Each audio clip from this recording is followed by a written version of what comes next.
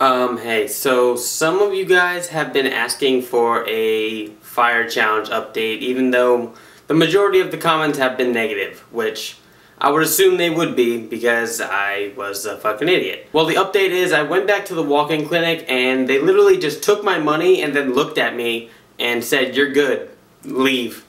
So that was kind of a waste of time and now I'm almost out of medicine, this white jizzy thing on my neck. I look like I've been jizzed on all the time. But it hasn't really been that bad. I don't have any pain medication, so it's kind of stinging a little bit. Probably should go get some, like, extra strength something. Other than that, it just kind of irritates me with my shirt on and things, so I haven't been wearing a shirt a lot, which I'm sorry about that for people who have been hanging out with me. I don't know why I keep doing this around my neck, but actually my face is healing up very well. I really actually don't think I'm going to have any scars from this, which would be really awesome. Still, really fucking sucks. It's hard to sleep.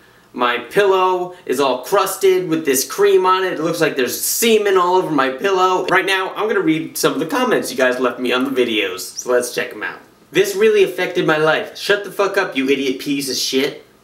This was a mistake that shouldn't have been made. Yes, I know. I've said that so many times. I don't feel sorry for you. You're stupid. Yes, that's what exactly what I'm saying. I don't expect anybody to feel sorry for me. I did this to myself, and I am very stupid for doing this. Maybe YouTube deleted your fire challenge because your dick comes out on camera. Okay, everybody, I don't care what you say. I know what happened. That's not my penis, okay?